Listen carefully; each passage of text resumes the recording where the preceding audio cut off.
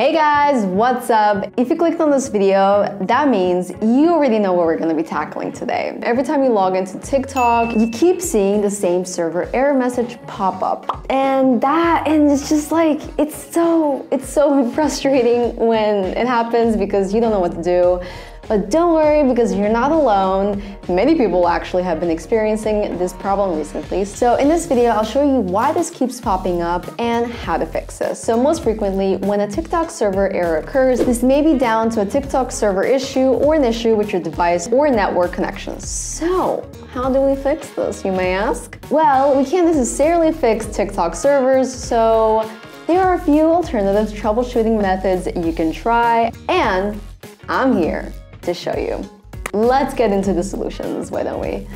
So the first thing you can do is to check your Wi-Fi or cellular data. Or open other apps to check if the issue continues there. And if you can't open any other app or web page, just turn off your Wi-Fi or cellular data and then turn it back on. If you're still having issues with the Wi-Fi, restart your router and just hope for the best. Okay, so if you did all of that, the second solution is to check if the TikTok server is down. You can check the status of TikTok servers at Down Detector to see if TikTok is down. So if Down Detector indicates that there is an issue with the TikTok servers, the only thing you can do is wait and regularly refresh the page to see if the error is fixed. The third solution I've got for you guys is to turn off VPN. So if you're using VPN, it may be causing the server error message. VPN protects your privacy when you're using the internet. Well, it can also make your internet connection unstable. This is because a VPN hides your IP address and swaps it with another from its proxy servers. Therefore, just turn off any VPN service and check if you still have the server error. If that didn't work out for you, I've got another solution for you guys. Uh, clear the TikTok app cache and app data. So sometimes TikTok issues may be caused by the cached data the app stores on your device. So to clear the TikTok cache on your phone, this is what you'll have to do.